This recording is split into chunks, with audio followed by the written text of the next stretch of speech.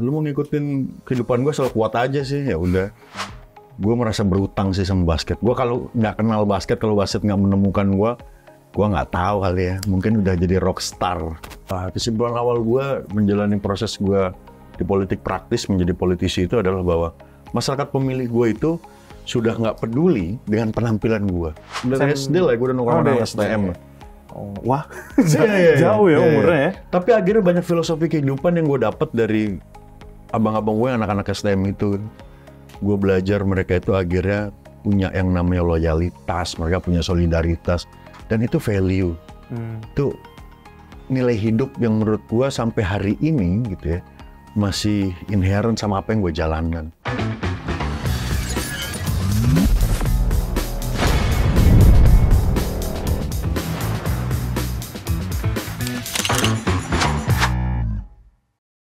Selamat datang di Ulti, Ulik Tipis. Setelah sekian lama akhirnya Ulti balik lagi. Ber- masih bersama saya, Bagas. Dan hari ini kita kedatangan salah satu orang yang lagi rame juga nih. Eh, beliau merupakan Ketua Perbasi alias Persatuan Basket Indonesia di Kota Tangerang. eh, daerah daerah saya. Dan Ketua Fraksi PDIP DPRD Kota Tangerang juga. Kita sambut Andri S. Permana. Terima kasih Mas Bagas. Terima kasih Andri, Ba- Bang Andri sudah datang ke Ulti ya, sebuah kehormatan oleh tipis. Apa kabar Bang? Alhamdulillah baik-baik. Alhamdulillah baik. Lagi sibuk atau apa mungkin? Eh, s- enggak lah, Nggak aman. Mm-mm, kita kan penganut slow life. Slow life. nyantai-nyantai Ya, hidup- tapi hidup- hidup jangan nyampai ya. terus gitu. Heeh. Oke, berarti eh, kemarin tuh sebenarnya ya sebelum Bang Andri saya sempat baca baca baca bahkan ada sempat nonton short movie-nya juga tuh. Yang di Oh, website Bang Andri ada oke, andripermana.com nggak usah namanya ya? Ya, ya, Itu kan ada eh, short movie saya sempat nonton dulu. itu lama itu juga. tugas anak kampus. tugas anak kampus. Kayak ya, Anak tuh, kampus mana? anak Untirta punya tugas Oh. kuliah, terus dia mau ngambil saya sebagai gua aja lihat mau ngambil gue sebagai Iya. profile. Terus akhirnya ya udah, lu mau ngikutin kehidupan gue selalu kuat aja sih, ya udah. Emang kenapa? Emang bang? Karena akhirnya 24 jam itu menjadi waktu yang singkat buat orang-orang menganut hidup-hidup lambat seperti kita gitu ya. Iya sih. Karena nongkrong di sini sama Iya. skena ini bisa beberapa jam. Terus callingan lagi, nongkrong-nongkrong di lapangan basket bisa beberapa jam. Iya sih. Terus belum lagi ada yang ngajak ngopi di sini bisa beberapa jam gitu kan kurang banget. Ya, udah gitu orang-orang beda-beda lagi bang. Iya, iya, iya. Oke, eh, nah seperti yang kita tahu nih bang, Bang Andri kan merupakan ketua apa tadi? Maaf, ketua Perbasi Kota Tangerang. Dan sebelumnya juga Bang Andri atlet, Iya. atlet basket. Nah, ini pengen nanya nih bang, dari semua olahraga yang ada di Indonesia nih, kan namanya apa sih Indonesia sepak bola, Bola dong. badminton, atau mungkin silat gitu kan yang lokal wisdom lah ya kata orang-orang gitu. Kenapa basket bang dari semuanya bang? Basket itu akhirnya Tuhan yang kirim itu ke gua sih. Eh, apa? Gini, faith gini, ya? gini, gini. Eh, SMP itu hidup gua ngeband. Oke. Gue ngeband, gue nonton konser musik ke mana-mana anak SMP ya. SMP. Anak SMP dari Tangerang, gue bisa nonton konser di Youth Center, Gor Jakarta Timur. Oh. Gue bisa nonton Indonesia Raya di Taman Mini. Gue bisa nonton konser musik di Bulungan, Oke. di kampus-kampus anak SMP hari itu. Terus tiba-tiba Allah menemukan gue dengan basket di SMA kelas 1. Gue baru main basket di SMA kelas 1 SMA kelas 1. dan gue merasa berutang sih sama basket. Gue kalau nggak kenal basket, kalau basket nggak menemukan gue, gue nggak tahu kali ya. Mungkin udah jadi rockstar. Berarti waktu itu SMA kelas 1 tuh basket gara-gara ekskul kah? Iya, Ekskul. di sekolah. Berarti eh, SMA kelas 1 apakah maksudnya udah langsung jago gitu? Sebelumnya pernah main iseng-iseng mungkin kan sama anak-anak komplek gitu. Enggak kali ya. Enggak, enggak, enggak. enggak. Latihan dulu. Latihan memang, latihan dan akhirnya practice make perfect tuh ya bener sih. Lu berlatih aja dan proses itu kan nggak akan pernah mengkhianati hasil. Cuman bedanya karena gue baru mulai dan gue terlambat memulai, akhirnya gue melakukan dua atau tiga kali lipat yang dilakukan sama teman-teman gue memulai lebih dulu. Oh. Gitu loh, kompensasinya itu sih. Jadi misalnya kayak temen gue cukup latihan di sekolah gitu kan seminggu tiga kali, gue harus nambah porsi latihan di luar. Gue di rumah misalnya kalau habis sholat gitu ya gue harus push up Wah. gitu gitu. Ya, ya, ya. Iya. Kardio lah ya. Heeh. ya karena itu kompensasi kan karena kita Ya. memulai lebih lambat harus nyampe di finish bareng-bareng ya gue harus kejar teman-teman gue. Ya soalnya nggak main-main malah langsung jadi, ya bukan langsung sih ya semua proses. Cuma maksudnya sekarang sudah menjadi seorang ketua Perbasi Kota Tangerang gitu loh. Sebuah proses yang pastinya tidak main-main gitu loh. Iya, passionnya di situ ya. Passion ya. Heeh, dan akhirnya menurut gue sih akhirnya passion adalah yang bisa bikin kita terikat sama suatu hal yang kita cintai. Oke, tapi maksudnya agak jauh sih, walaupun mirip ya. Maksudnya Bang Bang Adri kan dulu suka musik, tiba-tiba ke basket nih, gitu. Kenapa nggak tidak dilanjutkan saja menjadi rockstar itu itu loh?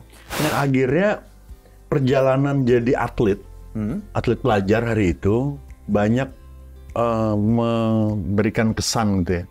Jadi atlet itu sebenarnya disiplinnya tinggi loh. Ah, dan Iya, itu iya, akhirnya harus. mengajarkan gue banyak hal filosofi hidup. Basket tuh akhirnya menjadi olahraga yang kita nggak boleh mundur. Karena kalau mundur kita backcourt. Terus basket itu, eh, Mas Bagas harus tahu, basket itu olahraga yang paling Pancasila banget. Nah, kenapa tuh? Sila kelima apa? Keadilan Keadilan sosial. Main basket itu kita punya hak yang sama untuk bikin poin. Kalau main bola gitu itu jatahnya penyerang kan, jatah striker Iya, bikin gol. Back ya hoki-hokian lah, Iya, apalagi kiper kan jarang Iya. banget bisa bikin gol. Di basket semua bisa bikin poin. Oh, iya sih. Dan di basket semua punya kewajiban buat bertahan. Adil nggak? Adil sih. Dah. Dan basket ngajarin kita berdemokrasi. Wah. Begitu pelatih udah mutusin, oke first teamnya A, B, C, D ya. Kita nggak bisa protes.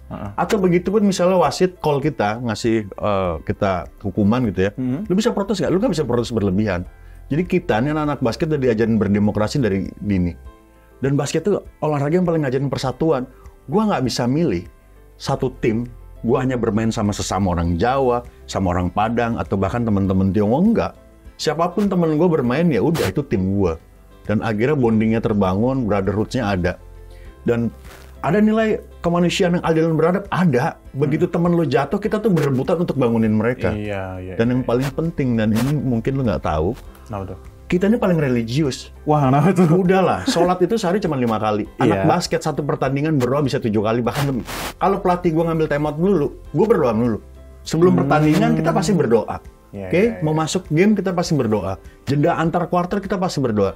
Dan doanya anak basket kalau mau pertandingan ya, itu udah kayak Tuhan tuh berada di depan kita. Jadi kurang religius apa anak, -anak basket ini? Wow, sudah nasionalis, religius, wah lengkap ya berarti basket. Filosofis banget kan? Sebuah filosofi yang jujur saya baru dengar sih. iya. Karena kan maksudnya saya tidak pernah menyentuh ranah itu, teman-teman mah ada gitu. Dan ternyata memang se sefilosofis itu ya, se sebuah basket.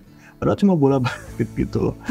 Oke, oke, mungkin mungkin Mas langsung, nanya ini personal dari saya nih. Saya nggak tahu banyak sih, tapi bisa disebutin nggak nih pemain favorit lah yang menjadi idola dulu mungkin pas SMA wah gila. Gue pengen banget nih kayak dia nih. Semua orang di tahun itu gitu ya kan, siapa tuh? Dia semua pasti bilang Jordan lah.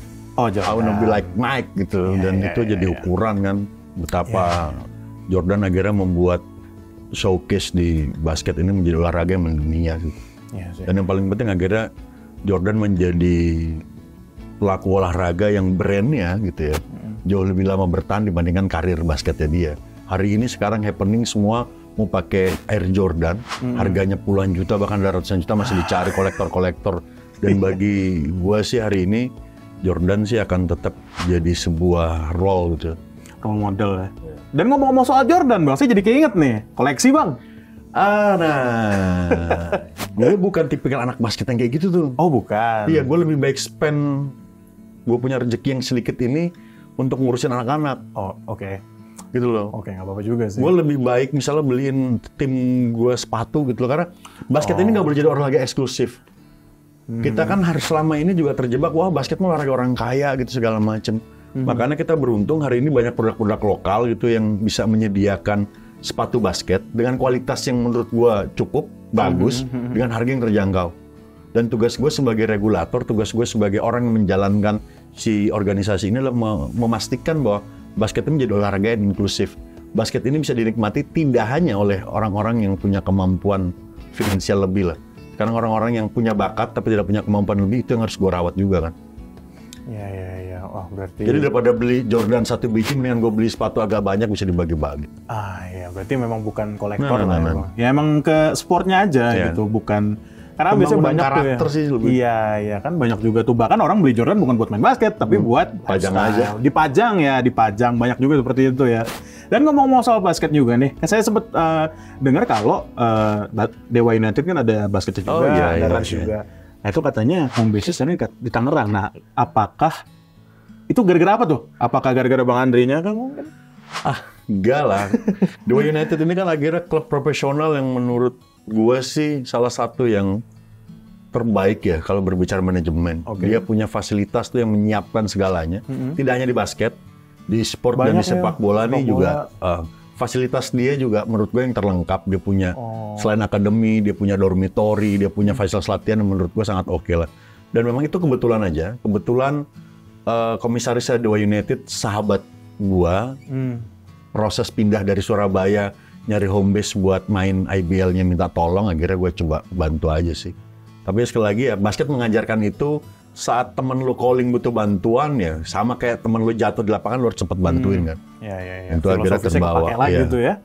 Oke, oke, oke. walaupun temen lu lebih berat dari lu gitu ya bantu aja dulu walaupun masalah yang dimintain tolong berat ya udah bantuin aja dulu Tapi iya, eh, terus juga mungkin kita bisa kembali lagi ke short movie yang saya tonton tuh tadi judulnya itu kalau nggak salah udah saya baca dulu.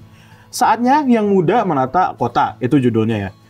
Di situ saya eh, baru sadar bahwa wah orang ini sering banget nih gue lihat nih kalau pengen ke TJ deket rumah. Saya kan biasanya ini bang ke halte CBD yes di situ kan ya itu kan biasanya ada tuh.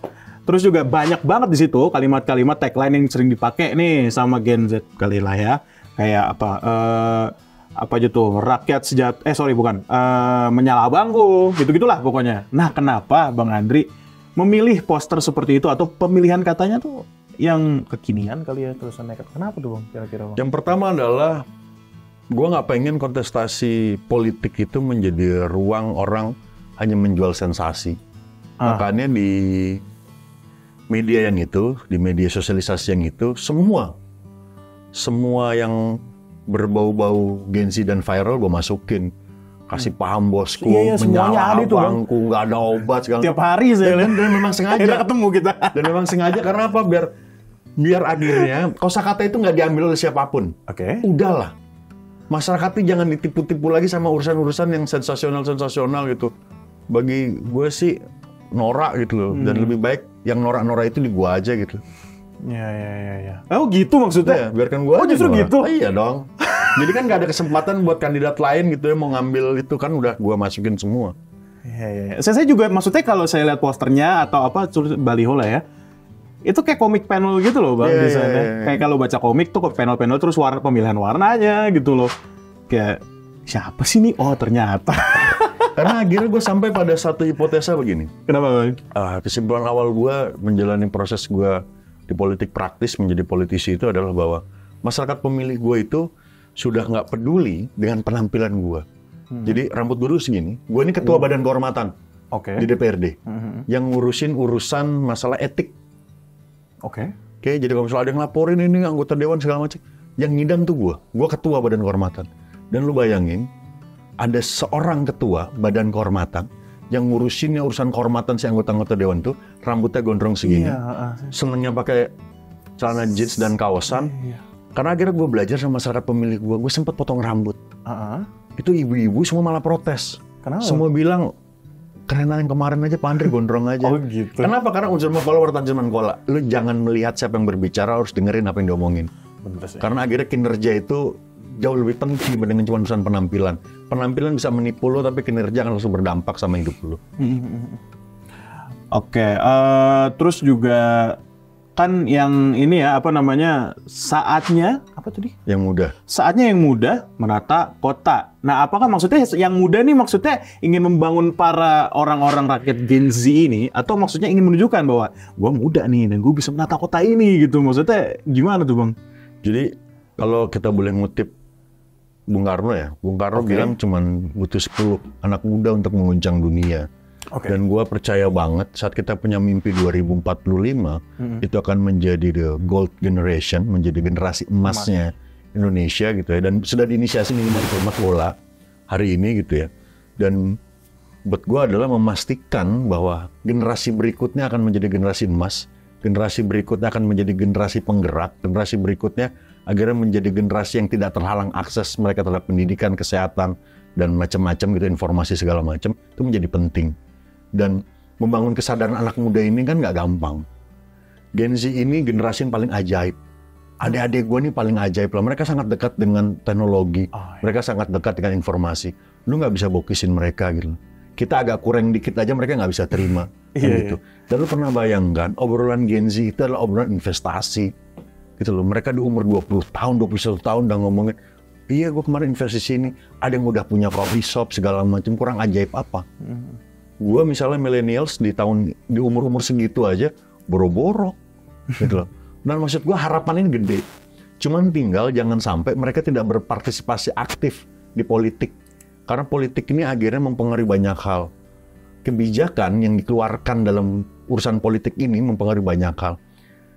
Logikanya gini, kita bisa ngumpulin orang seribu untuk berbuat kebajikan, hal baik. Tapi cuma seribu orang doang yang akan menikmati manfaatnya. Tapi satu kebijakan, oke, bisa buat dinikmati oleh jutaan orang. Jadi seribu kebajikan nggak ada apa-apanya dibandingkan satu kebijakan. Dan di situlah peran politik mempengaruhi yang namanya kebijakan publik. Oke, berarti ya memang benar ya untuk anak-anak muda ini. Iya, biar mereka lebih eager lah gitu. Iya, iya, iya, iya. Oke, oke, berarti ya. Berarti ya bi- bisa dibilang Bang Andri salah satu targetnya adalah anak-anak muda ini lah ya untuk bisa lebih membangun lagi gitu loh, terutama ya Kota Tangerang gitu. Ya karena anak-anak muda di Tangerang ini juga punya potensi gede-gede banget gitu. Besok tanggal 18 Juli, gue undang teman-teman buat datang ke Gor Tangerang. Oke. Gue bikin turnamen basket antar SMP. Oh, SMP. Tahu nggak eh, judul acara apa? Apa? Bocil Pride. Wow, Nah, serius. sebuah nama. Iya, bagi orang apa sih bocil? Ya enggak, ini Bocil bocil, pride. Pride. Nggak boleh ada kakak-kakaknya, semuanya itu Harus bocil. pestanya anak SMP. Iya. 90 sekolah, Wow. pesertanya ada 1080 pesertanya atau pemainnya doang. Oke, belum penonton dan segala Hmm. Macam. Gue undang lu 18 Juli. Kita akan lihat si anak-anak ini, si bocil-bocil SMP ini, ya. Mereka akhirnya punya pride itu. Oh. Dan kita harus kasih itu kan. Gua tuh akhirnya harus bikin etalase-etalase itu. Gua akhirnya si anak SMA juga harus punya pride buat di generasi dia. Anak SMP juga akan punya pride gitu. Biar apa? Biar mereka nggak membuli generasi di bawahnya. Mereka sudah puas lah di era itu. Selama gue SMP, gue udah begini, gue udah begini. Jadi begitu adik-adiknya, si anak-anak SD ini naik ke SMP, nggak ada lagi gitu keinginan buat ngebully. Karena semua sudah puas. Jadi kalau di basket itu, ada yang namanya sport uh, science. Jadi ada yang namanya mobilisasi energi. Anak-anak di bawah umur 15 tahun itu memang punya kewajiban untuk kita berikan ruang mereka mengakses gitu loh. Mobil energi mereka harus termobilisasi. Jadi nyampe rumah tinggal tidur. Jadi kalau hari ini terus kita ketemu peristiwa geng-geng motor di sana anak SMP. Karena mereka ini secara adrenalin, secara genetik, mereka masih punya energi besar yang harusnya disalurkan. Dan gadget ini, lu main Mobile Legend gitu kan, energi lu juga nggak habis. Mereka harus butuh ruang-ruang itu, energi mereka habis, mobilisasi energi mereka cukup, nyampe rumah tinggal tidur. Berarti sudah terpenuhi semua lah, Yes. Berarti Bocil Pride itu nanti bakal baru mulai turnamen? Enggak. Itu dia udah- di tahun kemarin udah. Di Oh, tahun kemarin udah. kemarin udah. Di tahun kedua dan Tahun kedua. tahun kemarin pembukaannya gue bikin scrimmage Rans lawan Dewa United. Ah. Tahun ini gue juga lagi mikir mau bikin gimmick apa gitu. Tapi yang paling penting ini lebarannya anak basket lah di lebaran. Tangerang gitu dan anak-anak basket ini harus main di beberapa turnamen di tempat gua baru mereka bisa mengklaim dan itu pride buat mereka Hmm. gitu loh. Dan akhirnya mereka FOMO kalau mereka nggak ikut itu gitu loh. Iya, iya, iya jadi akhirnya gue coba baca algoritmanya bahwa oke saat lu bikin event ya bikin event saat lu bikin event ini akhirnya lu butuh effort. Tapi saat lu bikin movement ya segala sesuatu menggelinding dengan sendirinya.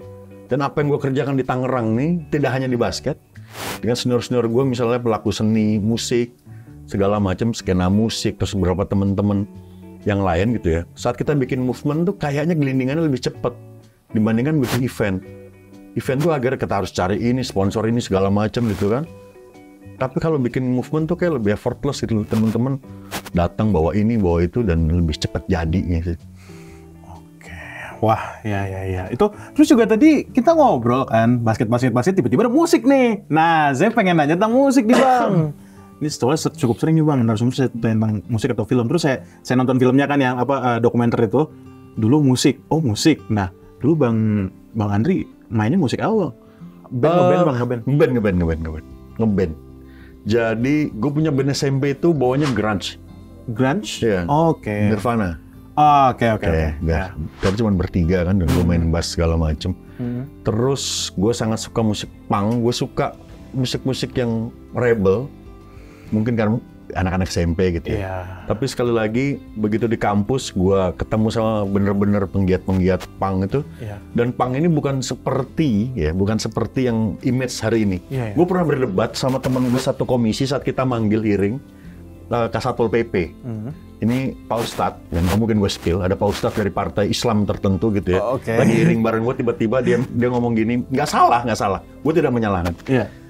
Dia ngomong ke Kasatpol, Pak, Sat, Pak Kasat, eh, tolong dong itu anak-anak pang di perempatan ini diberesin. Gue dengan spontan gue bilang, Pak Ustadz, itu bukan anak pang, itu anak jalanan. Kamu main, bukan itu bukan anak pang gitu. Oh gitu ya Bang Andri, iya Pak Ustadz. Baru gue akhirnya gue ngomong, Pak Ustadz itu bukan anak pang gitu. Pang itu pandangan hidup. Pak Ustadz tahu nggak, di pang itu ada namanya straight edge. Jangankan mereka narkoba, ngerokok aja enggak, Iya. free sex aja enggak. Gitu loh. Dan itu ada. Hmm. Kita kan nggak tahu itu. Dipikir anak pang itu akhirnya yang rambutnya mohak gitu kan. Terus yang pakai rantai-rantai, pakai enggak lah gitu loh. Dan Iya, iya. ini kan ada banyak hal-hal yang menurut gue akhirnya gue ngambil banyak filosofi sih. Dan kenapa harus musik? Akhirnya pemimpin itu juga harus punya sense. Kepekaan terhadap rasa itu jauh lebih penting. Dan menurut gue akhirnya musik bisa lebih mengantarkan gue. Bridging gue terhadap membangun rasa itu jauh lebih gampang melalui seni. Oke. Eh, dulu megang apa bang? Kalau boleh tahu. Main bass. Oh bass. Yo, Wah saya nggak pernah ini dah bass. Eh, gitar bisa bang? Bisa lah. Bass dulu apa gitar? Eh, gitar dulu. Gitar dulu Dan kan? tau gak kenapa akhirnya gue bisa main gitar?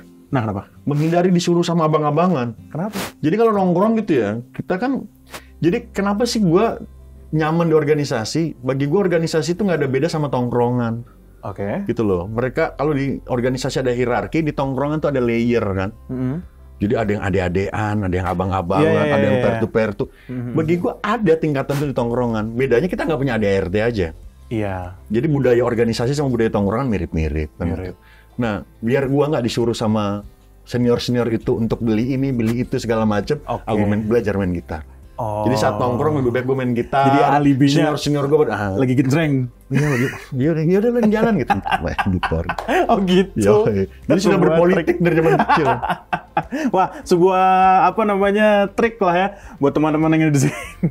Kalau misalnya disuruh apa sih beliin ini beliin ini ya udah, gue lagi digenceng. Dulu biasanya emang kalau nongkrong-nongkrong gitu nyanyiin lagu apa? Wah kalau zaman dulu banget gitu ya, SMP kah? saya dari SD lah, gue udah nongkrong Oh, SD. STM. Oh, wah, Iya, iya, iya. jauh ya umurnya ya. Tapi akhirnya banyak filosofi kehidupan yang gue dapat dari abang-abang gue yang anak-anak STM itu. Gue belajar mereka itu akhirnya punya yang namanya loyalitas, mereka punya solidaritas, dan itu value. Hmm. Itu nilai hidup yang menurut gue sampai hari ini gitu ya masih inherent sama apa yang gue jalankan. Karena lu nggak bisa juga akhirnya menjadi makhluk yang antisosial gitu. Lu lu harus tetap Kenapa Plato di tahun 503 itu dia bilang homo homini lupus, manusia adalah serigala bagi manusia yang lain. Coba kita pikir, serigala itu punya rantai makanan. Badannya nggak lebih besar dibandingkan singa, larinya nggak lebih cepat dibandingkan cita. Tapi dia bisa bertahan hidup jadi puncak rantai makanan karena dia bertarung dengan kawanannya. Jadi Plato mengajarkan kita untuk kita tidak menjadi manusia yang tidak bersosialisasi kan. Ya, ya. Wah, jadi deep gini ya. Nongkrong aja deh gitu. Harus Wah, kalau misalnya ini kayaknya makin banyak nih, Bang. Ini baru deep sekarang nih kita kayak. Jadi nguliknya jangan tipis-tipis. Iya, jangan tipis harus tebal nih ya. Paling informasi du- dulu Bang Anda di Mustopo juga ya dulu bapak Iya, saya di iya, Mustopo. iya. Dulu ba- bapak saya lulusan Mustopo. Oh, satunya lulusan Mustopo. 95, tapi Ini dia visip. Sama gue. Oh, Bang visip juga. Gue itu ketua senat di 2006-2007. Oh, ya tadi sempat baca juga di Iya, itu, iya, ketua iya. senat ya. Gue HI-nya visip eh, Mustopo. Iya, iya, iya. Ya, ibu saya juga situ. 92 iya, selatan tapi banget kan? Iya. 92 kita masih dalam Iya, iya, iya, iya, iya. jauh banget. Oke, kalau gitu wah banyak sekali. Thank you Bang Andri Terima kasih sebelumnya. banyak, brother. sangat asik sekali ya. Kalau gitu teman-teman, jangan lupa juga di subscribe dan juga di like. Eh, komen lagi mungkin kita mau menghadirkan siapa gitu di ulti selanjutnya. Thank you Bang Andri sekali lagi. Kalau gitu ketemu lagi kita di ulti selanjutnya. Thank you teman-teman.